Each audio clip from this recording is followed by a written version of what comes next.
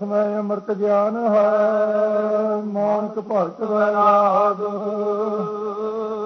ਗੁਰੂ ਗ੍ਰੰਥ ਸਾਹਿਬ ਉਦਧ ਬੰਦੋ ਕਰ ਅਨੁਰਾਗ। ਸ੍ਰੀ ਗੁਰ ਸ਼ਬਦ ਕਮਾਏ ਜਿਨ, ਜੀਤੇ ਪੰਜ ਵਿਕਾਰ। ਤਿਨ ਸੰਤਨ ਕੋ ਬੰਦਨਾ ਸਿਰ ਚਰਨ ਪਰਤਾਰ। ਸਤਨਾਮ ਸ੍ਰੀ ਵਾਹਿਗੁਰੂ ਸਾਹਿਬ ਜੀਓ। ਇੱਕ ਓੰਕਾਰ ਸਤਿਗੁਰ ਪ੍ਰਸਾਦ। ਸ੍ਰੀ ਵਾਹਿਗੁਰੂ ਜੀ ਕੀ ਫਤਿਹ ਜਾਪ। ਸ੍ਰੀ ਮੁਖਵਾਕ ਪਾਤਸ਼ਾਹੀ ਦਸਵੀਂ। ਛਪੈ ਛੰਦ ਤਵਾ ਪ੍ਰਸਾਦ। ਚੱਕਰ ਚਹਨ ਅਰ ਬਰਨ ਜਾਤ ਅਰ ਪਾਤ ਨਹਨ ਜਹੇ। ਰੂਪ ਰੰਗ ਅਰ ਰੇਖ ਭੇਖ ਕੋ ਕਹਿ ਨ ਸਕਤ ਕਹੇ। ਅਚਲ ਮੂਰਤ ਅਨਭਉ ਪ੍ਰਕਾਸ਼ ਅਮਿਤੋਜ ਕਹਿ ਜੈ। ਕੋਟ ਇੰਦਰ ਇੰਦਰਾਣ ਸਾਹ ਸਾਹਣ ਗਣ ਜੈ। ਤੇਰੇ ਭਾਵਨ ਮਹੀ ਪਸੁਰ ਨਾਰੇ ਅਸੁਰ ਨੇਤ ਨੇਤ ਬਨ ਤ੍ਰਿਣ ਕਹਤ।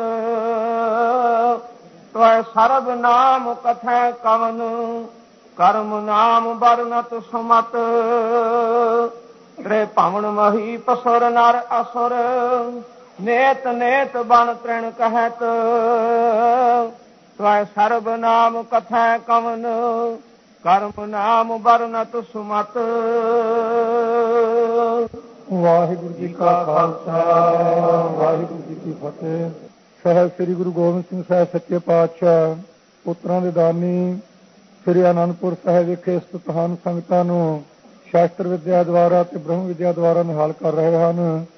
ਸਤਿਗੁਰੂ ਜੀ ਦੇ ਚਰਨਾਂ ਵਿੱਚ ਕਾਂਸੀ ਰਾਮ ਨਾਮੇ, ਕਾਂਸੀ ਦੇ ਵਿੱਚੋਂ ਇੱਕ ਪੰਡਤ ਆਇਆ ਹੈ। ਉਸ ਨੇ ਆ ਕੇ ਹਜੂਰ ਦੇ ਪਾਸ ਬੇਨਤੀ ਕੀਤੀ, ਸੱਚੇ ਪਾਤਸ਼ਾਹ ਜੀ, ਆਪ ਜੀ ਨੇ ਪਹਿਲੇ ਸਰੂਪ ਵਿੱਚ, ਪਹਿਲੇ ਸਰੂਪ ਤੋਂ ਲੈ ਕੇ ਨੌਵੇਂ ਸਰੂਪ ਤੱਕ ਸ਼ਾਂਤਮਈ ਢੰਗ ਦੇ ਨਾਲ ਬਖਸ਼ਿਸ਼ ਕੀਤੀ ਹੈ ਤੇ ਗੁਰਬਾਣੀ ਦੁਆਰਾ ਵੀ ਆਪ ਜੀ ਨੇ ਸ਼ਾਂਤ ਰਸ ਨੂੰ ਹੀ ਬਹੁਤਾ ਜ਼ਿਆਦਾ ਕਥਨ ਕੀਤਾ ਹੈ। ਕੋਈ ਐਸਾ ਬਖਸ਼ਿਸ਼ ਕਰੋ ਕਿ ਜਿਸ ਦੁਆਰਾ ਵੀਰ ਰਸ ਜਾਗਰਤ ਹੋਵੇ। ਗੁਰੂ ਗਰੀਬ ਨਿਵਾਸ ਸੱਚੇ ਪਾਤਸ਼ਾਹ ਜੀ ਨੇ ਉਸ ਕਾਂਸੀ ਰਾਮ ਨਾਮੇ ਪੰਡਤ ਦੀ ਬੇਨਤੀ ਨੂੰ ਸੁਣ ਕੇ ਕਿਹਾ ਕਿ ਗੁਰਮੁਖੋ, ਜਿਸ ਤਰ੍ਹਾਂ ਅਸੀਂ ਪਹਿਲੇ ਸਰੂਪ ਵਿੱਚ ਅਕਾਲ ਪੁਰਖ ਦੇ ਸਨਮੁਖ ਜਪਜੀ ਸਾਹਿਬ ਉਚਾਰਿਆ ਹੈ, ਇਸੇ ਤਰ੍ਹਾਂ ਹੀ ਅਕਾਲ ਪੁਰਖ ਦੇ ਸਨਮੁਖ ਇਹ ਸ੍ਰੀ ਜਾਪ ਸਾਹਿਬ ਉਚਾਰਨ ਕੀਤਾ ਹੈ। ਸੋ ਸੁਣ ਕੇ ਉਸਨੇ ਬੇਨਤੀ ਕੀਤੀ ਜੀ, ਆਪ ਅਰਥ ਸਮਝਾਵੋ। ਸੱਚੇ ਪਾਤਸ਼ਾਹ ਨੇ ਉਸ ਦੀ ਬੇਨਤੀ ਨੂੰ ਪ੍ਰਵਾਨ ਕਰਕੇ ਪੰਜੇ ਪਿਆਰੇ ਅਤੇ ਪੰਜੇ ਮੁਕਤੇ ਤੇ ਭਾਈ ਮੋਹਰ ਸਿੰਘ ਜੀ ਲਖਾਰੀ ਇੱਕ ਸਿੱਖ ਇਹਨਾਂ ਨਾਲ ਹੋਰ ਸੀ। ਇਹਨਾਂ 12 ਸਿੰਘਾਂ ਦੇ ਸਮੇਤ ਸਤਿਗੁਰੂ ਗਰੀਬ ਨਿਵਾਸ ਸੱਚੇ ਪਾਤਸ਼ਾਹ ਜੀ ਨੇ ਸੰਗਤ ਦੇ ਵਿੱਚ ਉਸ ਕਾਂਸੀ ਰਾਮ ਨਾਮੇ ਪੰਡਤ ਦੀ ਬੇਨਤੀ ਸੁਣ ਕੇ ਅਰਥ ਆਰੰਭ ਕੀਤੇ ਹਨ। ਸੋ ਸ੍ਰੀ ਜਾਪ ਸਾਹਿਬ ਜੀ ਦੇ ਅਰਥ ਆਨੰਦਪੁਰ ਸਾਹਿਬ ਵਿਖੇ ਹੋਏ ਹਨ। ਬਾਕੀ ਸਾਰੇ ਅਰਥ ਸਤਿਗੁਰੂ ਸੱਚੇ ਪਾਤਸ਼ਾਹ ਸੱਚਖੰਡ ਸ੍ਰੀ ਹਜੂਰ ਸਾਹਿਬ ਵਿਖੇ ਜਾ ਕੇ ਸੰਗਤਾਂ ਨੂੰ ਸੁਣਾਏ ਹਨ। ਬਾਬਾ ਮਨੀ ਸਿੰਘ ਸਾਹਿਬ ਜੀ ਆਦਿਕ ਗੁਰਸਿੱਖ ਜੋ ਨਾਲ ਸਨ, ਉਹਨਾਂ ਨੂੰ ਨਾਲ ਰੱਖ ਕੇ 14 ਮਹੀਨੇ ਸਤਿਗੁਰੂ ਜੀ ਉੱਥੇ ਰਹੇ ਹਨ, ਸ੍ਰੀ ਹਜੂਰ ਸਾਹਿਬ ਵਿਖੇ, ਜੋ ਇਸ ਵੇਲੇ ਬਾਬਾ ਨਿਧਾਨ ਸਿੰਘ ਸਾਹਿਬ ਜੀ ਦੇ ਨਾਂ ਉੱਪਰ ਲੰਗਰ ਪ੍ਰਚਲਿਤ ਹੈ, ਉਸ ਜਗ੍ਹਾ 'ਚ ਸਤਿਗੁਰੂ ਜੀ ਨੇ ਆਪਣਾ ਆਸਣ ਰੱਖਿਆ ਸੀ। ਉੱਥੇ ਰਹਿ ਕੇ 14 ਮਹੀਨਿਆਂ ਦੇ ਵਿੱਚ ਦਸਮ ਦੀ ਬਾਣੀ ਦੇ ਅਰਥ ਪੜਾਏ ਹਨ। ਆਪ ਸਾਹਿਬ ਸ੍ਰੀ ਗੁਰੂ ਗ੍ਰੰਥ ਸਾਹਿਬ ਸੱਚੇ ਪਾਤਸ਼ਾਹ ਜੀ ਦੇ ਅਰਥ ਦਮਦਮਾ ਸਾਹਿਬ ਵਿਖੇ, ਸਾਬਕ ਕੀ ਤਲਵੰਡੀ ਗੁਰੂ ਕੀ ਕਾਂਸੀ ਵਿਖੇ ਸੋ ਸੱਚੇ ਪਾਤਸ਼ਾਹ ਜੀ ਨੇ 9 ਮਹੀਨੇ 9 ਦਿਨ 9 ਘੜੀਆਂ ਤੇ 9 ਪਲਾਂ ਵਿੱਚ 48 ਸਿੰਘਾਂ ਨੂੰ ਅਰਥ ਸੁਣਾਏ ਅਤੇ ਇੰਨੇ ਸਮੇਂ ਦੇ ਵਿੱਚ ਹੀ ਅੰਮ੍ਰਿਤਮਈ ਧੁਰ ਕੀ ਬਾਣੀ ਲਿਖਵਾਏ ਅੰਮ੍ਰਿਤ ਵੇਲੇ ਤੋਂ ਆਰੰਭ ਕਰਕੇ 12 ਵਜੇ ਤੱਕ ਬਾਣੀ ਲਿਖਵਾਇਆ ਕਰਦੇ ਆਪ ਜੀ। ਤੇ 12 ਵਜੇ ਤੋਂ ਲੈ ਕੇ ਸ਼ਾਮ ਦੇ ਟਾਈਮ ਤੱਕ ਬਾਬਾ ਮਨੀ ਸਿੰਘ ਸਾਹਿਬ ਜੀ ਪਾਠ ਕਰਿਆ ਕਰਦੇ ਤੇ ਸਾਹਿਬ ਸ੍ਰੀ ਗੁਰੂ ਗੋਬਿੰਦ ਸਿੰਘ ਸਾਹਿਬ ਜੀ ਆਪ ਅਰਥ ਕਰਿਆ ਕਰਦੇ ਸਨ। ਇਸ ਤਰ੍ਹਾਂ ਇੰਨੇ ਸਮੇਂ ਦੇ ਵਿੱਚ ਬਾਣੀ ਉਚਾਰ ਕੇ ਸੋ ਸੰਪੂਰਨਤਾ ਦੇ ਟਾਈਮ ਤੇ ਅੰਮ੍ਰਿਤਮਈ ਧੁਰ ਕੀ ਬਾਣੀ ਦਾ ਅਖੰਡ ਪਾਠ ਕਰਵਾ ਕੇ ਭੋਗ ਪਵਾਇਆ ਸੀ, ਉਸੇ ਸਥਾਨ ਦੇ ਉੱਪਰ ਹੀ ਧੁਰ ਕੀ ਬਾਣੀ ਦੇ ਵਿੱਚ ਨੌਵੇਂ ਪਾਤਸ਼ਾਹ ਦੀ ਬਾਣੀ ਦਰਜ ਕੀਤੀ। ਇਸ ਤਰ੍ਹਾਂ ਸੰਗਤ ਸੰਤਾਂ ਨੇ ਹਾਲ ਕੀਤਾ ਸੀ। ਸੋ ਇਸ ਦੇ ਵਿੱਚ ਜਾਪ ਸਾਹਿਬ ਦੇ ਵਿੱਚ ਸਾਰੀਆਂ ਹੀ ਭਾਸ਼ਾ ਆਉਣਗੀਆਂ। ਅਰਬੀ, ਫਾਰਸੀ, ਗੁਰਮੁਖੀ, ਸੋ ਇਸੇ ਤਰ੍ਹਾਂ ਹਿੰਦੀ, ਆਦਿਕ ਵੀ, ਉਰਦੂ ਵੀ। ਸੋ ਇੱਕੇ ਥਾਂ ਹੀ ਸੱਚੇ ਪਾਤਸ਼ਾਹ ਜੀ ਨੇ ਸੋ ਇਕੱਤਰ ਕੀਤੀਆਂ ਹਨ, ਜਿਸ ਜਿਸ ਤਰੀਕੇ ਦੇ ਨਾਲ ਸਮੇਂ-ਸਮੇਂ ਮੁਤਾਬਕ ਲੋੜ ਸਮਝੀ ਹੈ, ਉਸੇ ਤਰ੍ਹਾਂ ਸਤਿਗੁਰੂ ਜੀ ਨੇ ਇਹ ਸ਼ਬਦ ਉਚਾਰਨ ਕੀਤੇ ਹਨ। ਉਸ ਦੀ ਬੇਨਤੀ ਸੁਣ ਕੇ ਪੰਡਤ ਦੀ ਸੰਗਤਾਂ ਦੇ ਤਾਂ ਹਾਲ ਕਰਨ ਵਾਸਤੇ ਇਹ ਕਥਾ ਅਨੰਦਪੁਰ ਸਾਹਿਬ ਦੇ ਵਿੱਚ ਆਰੰਭ ਚੋਜੀ ਪ੍ਰੀਤਮ ਜੀ ਨੇ ਕੀਤੀ ਸੀ। ਸੋ ਸਾਰੇ ਜਾਪ ਸਾਹਿਬ ਦੇ ਵਿੱਚ ਇਹ ਨਮਸਕਾਰ ਕਬਾਣੀ ਹੈ ਪਰਮੇਸ਼ਰ ਨੂੰ, ਵਾਹਿਗੁਰੂ ਅਕਾਲ ਪੁਰਖ ਨੂੰ ਨਮੋ ਨਮਸਤ, ਨਮੋਸਤ। ਇਹ ਪਾਠ ਹੋਣਗੇ ਸਾਰੇ ਨਮਸਕਾਰ ਦੇ ਵਾਚਕ ਜਨੈਕ ਹਨ। ਸੋ ਜਿੰਨਾ ਕੁ ਸਮਾਂ ਥਕਾ ਦੇ ਨਾਲ ਜਾਂ ਮੈਂ ਕਲਮਾ ਆਲਸ ਨੂੰ ਤਿਆਗ ਕੇ ਸੁਣਨ ਦੀ ਖੇਤਰ ਕਰੋਗੇ, ਆਪਾਂ ਉਹਨਾਂ ਕੁ ਸਮਾਂ ਲਾ ਲਵਾਂਗੇ। ਤੁਹਾਡਾ ਹੁਕਮ ਸੀ ਵਿਦਿਆਰਥੀਆਂ ਦਾ ਕਿ ਜਾਪ ਸਾਹਿਬ ਦੇ ਸਾਰੇ ਦੇ ਅਰਥ ਸੁਣਾਏ ਜਾਣ ਤਾਂ ਚੰਗਾ ਹੈ। ਵਿਸਤਾਰ ਸਾਹਿਬ ਤਾਂ ਬਹੁਤ ਟਾਈਮ ਲੱਗੇਗਾ। ਸੂਖਮ ਰੂਪ ਵਿੱਚ ਇੱਕ ਇੱਕ ਦੋ ਦੋ ਅਰਥ ਇੱਕ ਇੱਕ ਪੰਕਤੀ ਦੇ ਕਰੀ ਚੱਲਾਂਗੇ। ਸੱਚੇ ਪਾਤਸ਼ਾਹ ਕਿਰਪਾ ਕਰਨ ਸੰਪੂਰਨਤਾ ਹੋਵੇ। ਸੋ ਸੁਣੋ ਇਕਾਗਰਤਾ ਨਾਲ। ਸਤਨਾਮ ਸ੍ਰੀ ਵਾਹਿਗੁਰੂ ਸਾਹਿਬ ਜੀਓ। ਇੱਕ ਓੰਕਾਰ ਸਤਿਗੁਰ ਪ੍ਰਸਾਦ। ਜੋ ਅਦਵੈਤ ਰੂਪ ਬ੍ਰਹਮ ਓੰਕਾਰ ਕਾਰਨ ਸੇ ਰੱਖਿਆ ਕਰਨ ਵਾਲਾ ਇੱਕ ਜੋ ਜਾਤੀ ਵਿਜਾਤੀ ਸਰਗਤ ਭੇਦ ਰਹਿਤ ਹੈ। ਜਾਤੀ ਜਿਵੇਂ ਆਪਾਂ ਮਨੁੱਖ ਇੱਕ ਜਾਤੀ ਇਹ ਤੋਂ ਵੀ ਉਹ ਰਹਿਤ ਹੈ। ਤੇ ਵਿਜਾਤੀ ਜੇ ਪਸ਼ੂ ਹਨ ਦੂਜੀ ਜਾਤ ਦੇ। ਉਹਨਾਂ ਵਿੱਚੋਂ ਵੀ ਉਹ ਕਿਸੇ ਵਿੱਚੋਂ ਨਹੀਂ ਤੇ ਸਰਗਤ ਭੇਦ ਆਪਣੇ ਆਪ ਵਿੱਚ ਫ਼ਰਕ ਹੋਣਾ ਜਿਵੇਂ ਦਰਖਤ ਹੈ, ਉਹਦਾ ਮੁੱਢ ਮੋਟਾ ਹੈ ਟਹਿਣੇ ਪਤਲੇ ਆ ਟਹਿਣੀਆਂ ਉਦੋਂ ਪਤਲੀਆਂ ਪੱਤਰੇ ਹੋਰ ਤਰ੍ਹਾਂ ਦੇ ਹੈ। ਉਹਨੂੰ ਆਪਣੇ ਆਪ ਵਿੱਚ ਜਿਹਦੇ ਫ਼ਰਕ ਹੋਵੇ ਨੂੰ ਸੋਏਗਤ ਭੇਦ ਕਰੀਦਾ ਇਹਨਾਂ ਤਿੰਨਾਂ ਤੋਂ ਜਿਹੜਾ ਰਹਿਤ ਹੈ, ਐਸਾ ਹੈ ਪਰਮੇਸ਼ਰ। ਓੰਕਾਰ ਮੰਗਲ ਰੂਪ ਹੈ। ਓੰਕਾਰ ਉਚਾਰਨ ਸੇ ਰੱਖਿਆ ਕਰਨ ਵਾਲਾ ਹੈ। ਐਸਾ ਜਿਹੜਾ ਇੱਕ ਓੰਕਾਰ, ਇਹ ਬੀਜ ਮੰਤਰ ਸਤਿਗੁਰੂ ਜੀ ਨੇ ਉਚਾਰਨ ਕੀਤਾ ਹੈ। ਸਾਹਿਬ ਸ੍ਰੀ ਗੁਰੂ ਗ੍ਰੰਥ ਸਾਹਿਬ ਦੇ ਵਿੱਚ 500 ਤੇ 23 ਵੇਰਾ ਇਹ ਮੰਤਰ ਆਉਂਦਾ ਹੈ। ਸੋ ਜਿਹੜਾ ਏਕ ਹੈ, ਉਹ ਸਤਿਗੁਰੂ ਜੀ ਨੇ ਅੰਗ ਵਿੱਚ ਲਾਇਆ ਅੱਖਰਾਂ ਵਿੱਚ ਨਹੀਂ, ਈੜੀ ਨੂੰ ਸਿਹਾਰੀ ਲਾ ਕੇ ਕੱਕਾ ਇੱਕ ਨਹੀਂ ਕਿਹਾ। ਏਕਾ ਜਿਵੇਂ ਏਕਾ, ਦੂਆ ਤੀਆ ਹੁੰਦਾ ਇਸ ਤਰ੍ਹਾਂ ਅੰਗ ਲਾ ਕੇ ਏਕਾ ਕਿਹਾ ਇਸ ਦਾ ਕਾਰਨ ਹੈ, ਸੋ 63 ਪ੍ਰਕਾਰ ਦਾ ਭੇਦ ਸੀ, ਉਸ ਨੂੰ ਦੂਰ ਕਰਨ ਵਾਸਤੇ ਸਤਿਗੁਰੂ ਜੀ ਨੇ ਏਕਾ ਲਾਇਆ ਹੈ ਓਮ। ਸੋ ਓ ਨਮੋ, ਓ ਨਾਮ। ਇਹ ਤਾੜ ਕੇ ਪਾਠ ਸਨ ਵੇਦਾਂ ਦੇ ਮੁਤਾਬਕ ਕੋਈ ਕਹਿੰਦਾ ਸੀ ਜਾਪ ਚੰਗਾ, ਕੋਈ ਕਹਿੰਦਾ ਸੀ ਆ ਜਾਪ ਚੰਗਾ। ਸਤਿਗੁਰੂ ਜੀ ਨੇ ਸਾਰੇ ਭਲੇਖੇ ਦੂਰ ਕਰਨ ਵਾਸਤੇ ਏਕਾ ਲਾ ਕੇ ਕਹਿ ਦਿੱਤਾ ਕਿ ਓਮਕਾਰ ਭਾਈ ਇੱਕੋ ਹੀ ਹੈ। ਇਸ ਤਰ੍ਹਾਂ ਸੱਚੇ ਪਾਤਸ਼ਾਹ ਨੇ ਏਕਾ ਲਾ ਕੇ ਭਰਮ ਦੂਰ ਕੀਤਾ ਹੈ। ਓਮਕਾਰ ਮੰਗਲ ਰੂਪ ਹੈ ਤੇ ਸਤਗੁਰ ਸਤ ਸੱਤਾ ਮਾਤਰ ਹੈ। ਸਤ ਸਦਾ ਰਹਿਣ ਵਾਲਾ ਹੈ। ਤੇ ਗੋ ਸਿਵ ਸੰਗਤਾਂ ਦੇ ਮੁਤਾਬਕ ਨਾਮ ਹੈ ਅਗਿਆਨ ਦਾ ਸ਼ਾਮ ਦੀਆਂ ਰਿਚਾ ਮੁਤਾਬਕ ਹੈ ਰੂ ਨਾਮ ਪ੍ਰਕਾਸ਼ ਦਾ। ਗੋ ਅਗਿਆਨ ਦੇ ਹਨੇਰੇ ਨੂੰ ਮੇਟ ਕਰਕੇ ਰੂ ਜਿਹੜਾ ਪ੍ਰਕਾਸ਼ ਕਰਨ ਵਾਲਾ ਉਹਦਾ ਨਾਮ ਹੁੰਦਾ ਗੁਰ ਜਾਂ ਗੁਰੂ। ਇਹ ਗਿਰ ਧੰਤੂ ਤੋਂ ਬਣਿਆ ਹੈ। ਗਿਰ ਨਾਮ ਹੈ ਪਹਾੜ ਦਾ। ਪਰਮੇਸ਼ਰ ਪਹਾੜ ਦੀ ਤਰ੍ਹਾਂ ਹੈ। ਤੂੰ ਮੇਰੋ ਮੇਰ ਪਰਬਤ ਪਰ ਸੁਆਮੀ ਓਟ ਗਈ ਮੈਂ ਤੇਰੀ। ਨਾ ਤੁਮ ਡੋਲੋ, ਨਾ ਹਮ ਗਰਤੇ, ਰੱਖ ਲੀਨੀ ਹਰ ਮੇਰੀ। ਗਿਰ ਨਾਮ ਹੈ ਨਿਗਲਣ ਦਾ। ਸੋ ਜਿਵੇਂ ਸਤਿਗੁਰੂ ਜੀ ਨੇ ਬਚਨ ਕਹਨ ਕਾਮ ਕ੍ਰੋਧ ਮਾਰ ਕੱਢੇ, ਤੁਧ ਸਾਹ ਪਰਿਵਾਰੇ ਤਾਲਕ ਸ਼ਬਦ ਆਉਂਦੇ ਹਨ। ਨਿਗਲ ਜਾਣਾ, ਸਿੱਖ ਦੇ ਹਿਰਦੇ ਵਿੱਚੋਂ ਵਿਕਾਰ ਨੂੰ ਭਾਵ ਕਰ ਦੇਣਾ। ਇਸ ਵਾਸਤੇ ਨਿਗਲਣ ਦਾ ਵੀ ਜਨਾਇਕ ਹੈ। ਤੇ ਗਿਰ ਨਾਮ ਹੈ ਗਿਰਾ ਬਾਣੀ ਨੂੰ ਕਹੀਦਾ ਬਾਣੀ ਗੁਰੂ ਗੁਰੂ ਹੈ ਬਾਣੀ, ਵਿੱਚ ਬਾਣੀ ਅੰਮ੍ਰਿਤ ਸਾਰੇ ਗੁਰਬਾਣੀ ਕਹੇ ਸੇਵਕ ਜਨ ਮਾਨਾ ਪ੍ਰਤੱਖ ਗੁਰੂ ਨਿਸਤਾਰੇ। ਸੋ ਇਸ ਤਰ੍ਹਾਂ ਅਰਥ ਇਸ ਦੇ ਹਨ। ਅਗਿਆਨ ਦੇ ਹਨੇਰੇ ਨੂੰ ਚੱਕ ਕੇ ਦੂਰ ਕਰਕੇ ਰੂਪ ਪ੍ਰਕਾਸ਼ ਕਰਨ ਵਾਲਾ ਉਸ ਨੂੰ ਕਹੀਦਾ ਸਤਿਗੁਰੂ। ਅੱਜ ਕੱਲ ਵੀ ਭਾਵੇਂ ਬਹੁਤ ਬਣੇਦਾ ਫਿਰਦੇ ਬਣਾਉਤੀ ਪਰ ਪੂਰਨ ਗੁਰੂ ਵਰਗਾ ਕੋਈ ਨਾ ਸੀ, ਨਾ ਹੈ ਤੇ ਨਾ ਆਉਣ ਵਾਲੇ ਸਮੇਂ ਵਿੱਚ ਹੋਵੇਗਾ। ਪ੍ਰਸਾਦ ਪ੍ਰਸਾਦ ਨਾਮ ਹੈ ਕਿਰਪਾ ਦਾ। ਉਹ ਇੱਕ ਓੰਕਾਰ ਜਿਹੜਾ ਸਤਿਗੁਰੂ ਹੈ, ਉਹਦੀ ਪ੍ਰਸਾਦ ਕਿਰਪਾ ਹੈ। ਪਰ ਵਿਸ਼ੇਸ਼ ਕਰਕੇ ਸਾਧ ਨਾਮ ਸਵਾਦ ਦਾ ਅਜੇ ਹੁਣੇ ਪ੍ਰਸ਼ਾਦਾ ਸ਼ਾਇਦ ਕਹਿੰਦੇ ਦਾਲ ਬੜੀ ਸਵਾਦ ਬਣੀ ਹੈ ਫਲਾਨੀ ਚੀਜ਼ ਬੜੀ ਸਵਾਦ ਹੈ ਜਿਹੜਾ ਸਵਾਦਾਂ ਤੋਂ ਪਰੇ ਹੋਵੇ ਉਹਨੂੰ ਪ੍ਰਸਾਦ ਕਹੀਦਾ ਹੈ ਪਰ ਵਿਸ਼ੇਸ਼ ਕਰਕੇ ਸਵਾਦਾਂ ਤੋਂ ਪਰੇ ਹੈ ਤੇ ਸਾਦ ਉਹ ਕੱਟਿਆ ਵੀ ਨਹੀਂ ਜਾਂਦਾ ਪਰਮੇਸ਼ਰ ਕੱਟਣ ਤੋਂ ਵੀ ਰਹਿਤ ਹੈ ਐਸਾ ਇੱਕ ਓੰਕਾਰ ਸਤਿਗੁਰੂ ਪ੍ਰਸਾਦ ਦੀ ਕਿਰਪਾ ਸ੍ਰੀ ਵਾਹਿਗੁਰੂ ਜੀ ਕੀ ਫਤਿਹ। ਸ੍ਰੀ ਸਰੋਮਣੀ ਹੈ ਸਾਰਿਆਂ ਤੋਂ ਸਿਰੋਮਣੀ ਸੋ ਸ੍ਰੀ ਸੋਭਾ ਦੇ ਦੇਣ ਵਾਲਾ ਸਾਰਿਆਂ ਨੂੰ, ਸ੍ਰੀ ਨਾਮ ਲక్ష్ਮੀ ਦਾ। ਲక్ష్ਮੀ ਨੂੰ ਆਪਣੇ ਆਸਰੇ ਰੱਖਣ ਵਾਲਾ ਹੈ। ਵਾਹੇ, ਵਾਹ ਨਾਮ ਹੈ ਅਚਰਜ ਦਾ। ਚੰਗੀ ਤੋਂ ਚੰਗੀ ਚੀਜ਼ ਨੂੰ ਵਾਹ ਚੀਜ਼ ਕਹੀਦਾ, ਵਾਹ ਤੋਂ ਪਰੇ ਚੰਗੀ ਚੀਜ਼ ਵਾਸਤੇ ਵਰਤੋਂ ਵਿੱਚ ਲਿਆਉਣ ਵਾਸਤੇ ਕੋਈ ਉਹ ਰੱਖਣ ਨਹੀਂ ਹੈ। ਤੇ ਗੁਰੂ ਅਗਿਆਨ ਦੇ ਹਨੇਰੇ ਨੂੰ ਦੂਰ ਕਰਕੇ ਰੂਪ ਪ੍ਰਕਾਸ਼ ਕਰਨ ਵਾਲਾ ਉਹਨੂੰ ਗੁਰੂ ਕਹੀਦਾ ਐਸਾ ਜਿਹੜਾ ਅਗਿਆਨ ਮੇਟ ਕੇ ਪ੍ਰਕਾਸ਼ ਕਰਨ ਵਾਲਾ ਵਾਹ ਅਚਰਜ ਸਰੂਪ ਉਹਦਾ ਨਾਮ ਹੈ ਵਾਹਿਗੁਰੂ।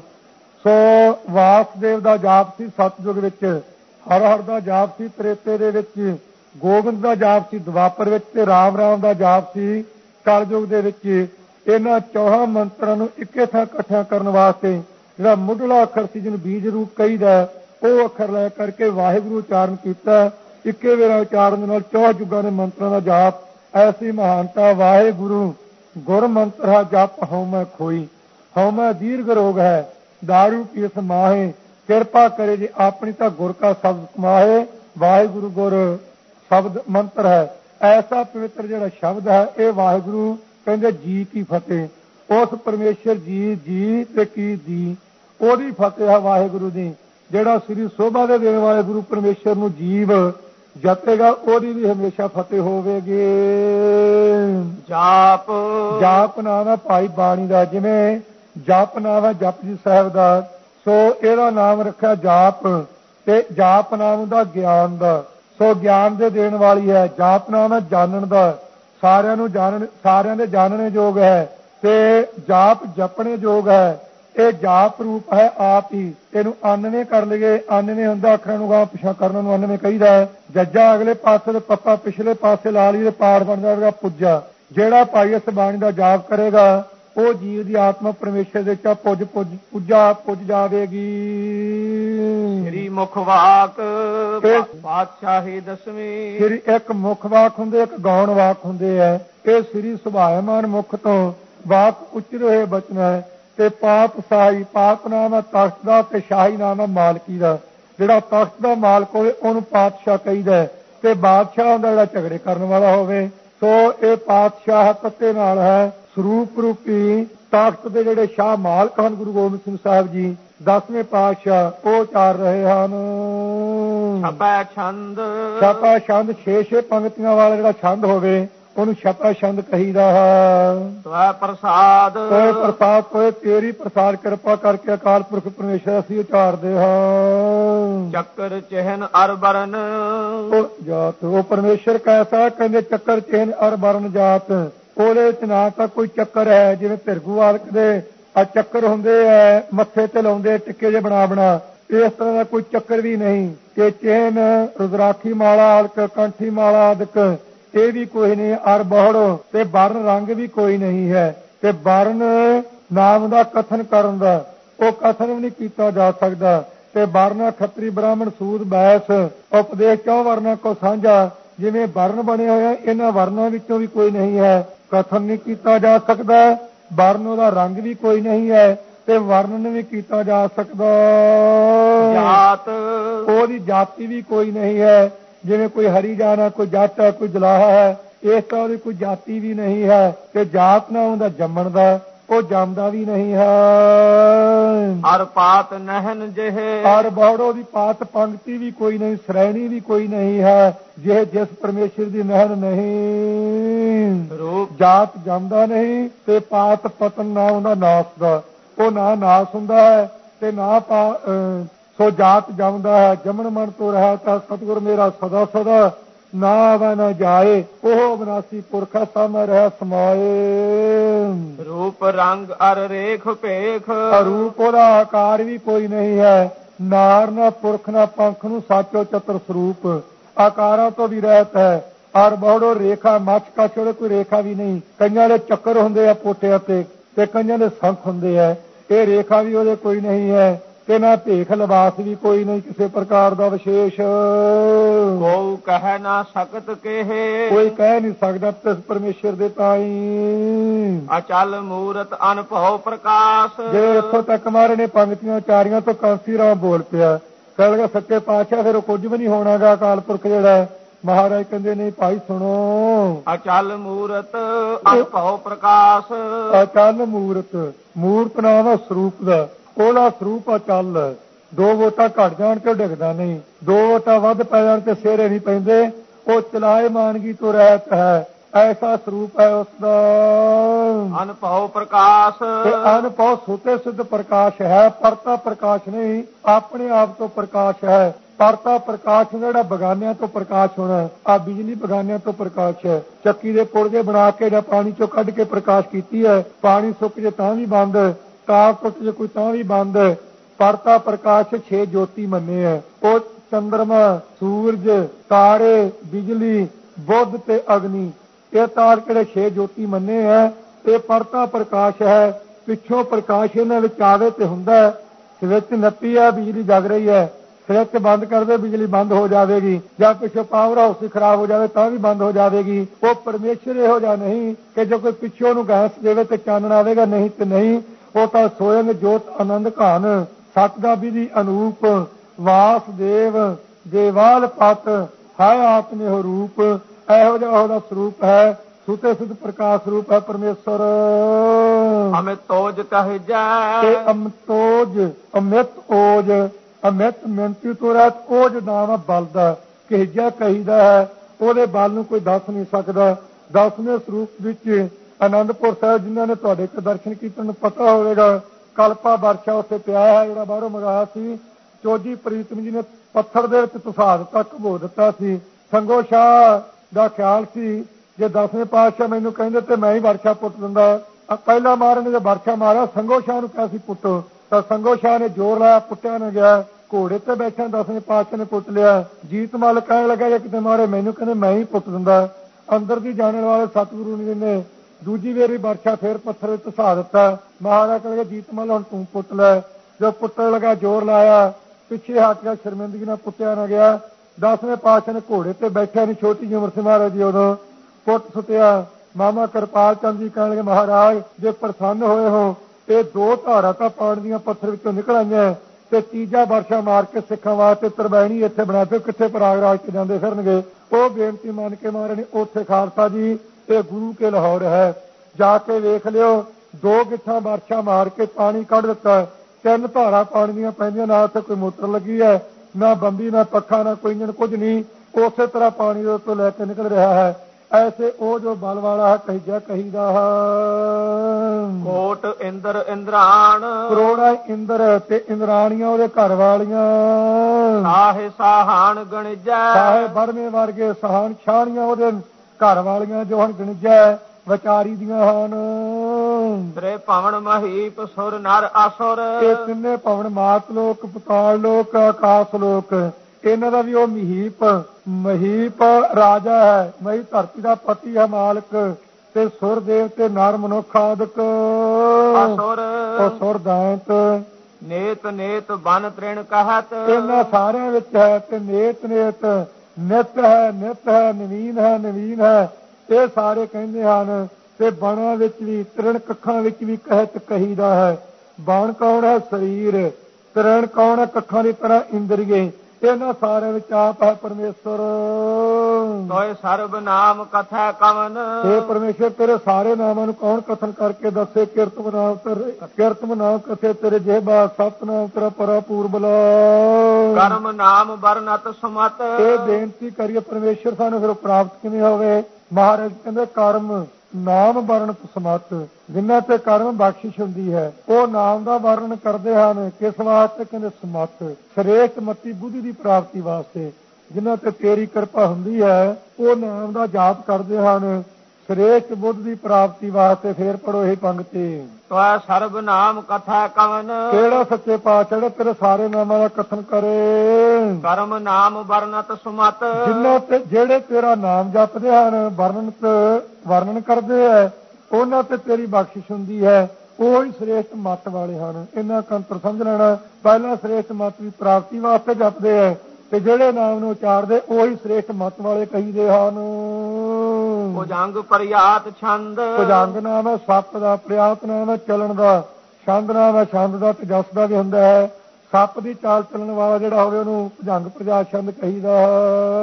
ਨਮਸਤਵੰ ਅਕਾਲੇ। ਨਮਸਤੰ ਨਮਸਤ ਨਮਸਤ ਤੋਯੰ ਨਮਸਤ ਨਮਸਕਾਰ ਹੈ ਤੇਰੇ ਤਾਈ। हे ਅਕਾਲੇ ਕਾਲ ਤੋਂ ਰਹਿਤ ਆ ਨਾਮ ਰਹਿਤ ਦਾ ਤੇ ਕਾਲ ਨਾਮ ਕਾਲ ਦਾ। ਕਾਲ ਤੋਂ ਰਹਿਤ ਪਰਮੇਸ਼ਰ ਤੈਨੂੰ ਨਮਸਕਾਰ ਹੈ। ਤੇ ਕਾਲ ਨਾਮ ਹੈ ਅਗਿਆਨ ਦਾ। ਅਗਿਆਨ ਤੋਂ ਰਹਿਤ ਪਰਮੇਸ਼ਰ ਤੈਨੂੰ ਨਮਸਕਾਰ ਹੈ। ਕਾਲ ਨਾਮ ਹੈ ਕਲਪਨਾ ਦਾ। ਕਲਪਨਾ ਤੋਂ ਰਹਿਤ ਪਰਮੇਸ਼ਰ ਤੈਨੂੰ ਨਮਸਕਾਰ ਹੈ। ਤੇ ਕਾਲ ਨਾਮ ਹੈ ਕਲਾ ਦਾ। ਕਲਾ ਨਾਮ ਹੈ ਲੜਾਈ ਦਾ। ਇਹ ਲੜਾਈ ਤੋਂ ਰਹਿਤ, ਝਗੜੇ ਤੋਂ ਰਹਿਤ ਪਰਮੇਸ਼ਰ ਤੈਨੂੰ ਨਮਸਕਾਰ ਹੈ। ਤੇ ਕਾਲ ਨਾਮ ਹੈ, ਕਾਲੇ ਨਾਮ ਹੈ ਕਲੰਕ ਦਾ। ਕਲੰਕਾ ਤੋਂ ਆ ਨਾਮ ਹੈ ਰਹਿਤ ਦਾ। ਇਹ ਕਲੰਕਾ ਤੋਂ ਰਹਿਤ ਤੇਰੇ ਤਾਈ ਪਰਮੇਸ਼ਰ ਵਾਹਿਗੁਰੂ ਨਮਸਕਾਰ ਹੈ। ਨਮਸਤਵੰ ਕਿਰਪਾਲੇ। ਨਮਸਤੰ ਤੇਰੇ ਤਾਈ ਨਮਸਕਾਰ ਹੈ ਕਿਰਪਾਲੇ। हे ਕਿਰਪਾਲੂ ਤੇ ਕਿਰਪਾ ਆਲੇ ਕਿਰਪਾ ਦੇ ਆਲੇ ਨਾਮ ਹੈ ਘਰ ਦਾ। हे ਕਿਰਪਾ ਦੇ ਘਰ ਤੇਰੇ ਤਾਈ ਨਮਸਕਾਰ ਹੈ ਤੇ ਕਿਰ ਨਾਮ ਹੈ ਕਰਨ ਦਾ? ਕਰਨ ਵਾਲਾ ਪਹਿਲਾ ਕੌਣ ਹੈ? ਸ੍ਰੇਸ਼ਟੀ ਨੂੰ ਬਰਮ ਪਾ ਨਾਮ ਹੈ ਪਾਲਣਾ ਦਾ। ਪਾਲਣਾ ਦੀ ਗਲਤੀ ਕਿਹਦੀ ਹੈ? ਵਿਸ਼ਨੂੰ ਦੀ। ਲੈ ਨਾਮ ਹੈ ਲੈਤਾ ਦਾ। ਲੈਤਾ ਕਰਨ ਵਾਲਾ ਕੌਣ ਹੈ? ਸ਼ਿਵ ਜੀ। ਇਹਨਾਂ ਤਿੰਨਾਂ ਨੂੰ ਪੈਦਾ ਕਰਨ ਵਾਲੇ ਪਰਮੇਸ਼ਰ, ਤੈਨੂੰ ਨਮਸਕਾਰ ਹੈ। ਏਕਾ ਮਾਈ, ਜੁਗਤ ਵਿਆਈ ਤਿੰਨ ਚੇਲੇ ਪ੍ਰਵਾਨ, ਇੱਕ ਸੰਸਾਰੀ ਬਰਮਾ ਇੱਕ ਭੰਡਾਰੀ ਵਿਸ਼ਨੂੰ, ਇੱਕ ਲਾਏ ਦੀ ਬਾਣ। ਜਿਹਨੂੰ ਲੈਤਾ ਕਰਨ ਦੀ ਬਾਣ ਆਤ ਪਈ ਮਾਰਦੀ, ਉਹ ਸ਼ਿਵ ਜੀ ਹੈ। ਇਹ ਤਿੰਨੇ ਤੂੰ ਪੈਦਾ ਕੀਤੇ ਤੈਨੂੰ ਨਮਸਕਾਰ ਹੈ। ਨਮਸਤੰ ਅਰੂਪੇ। ਨਮਸਕਾਰ ਅਰੂਪੇ ਰੂਪਾਕਾਰਾ ਤੋਂ ਰਹਿਤ ਪਰਮੇਸ਼ਰ। ਨਮਸਤੰ। ਔਰ ਉਪੇ ਔਰ ਦੁਸ਼ਮਣ ਵੀ ਤੇਰੀ ਉਪੇ ਉਪਮਾ ਕਰਦੇ ਹਨ। ਕਹਿੰਦੇ ਧੰਨ ਗੁਰੂ ਗੋਬਿੰਦ ਸਿੰਘ ਜੀ।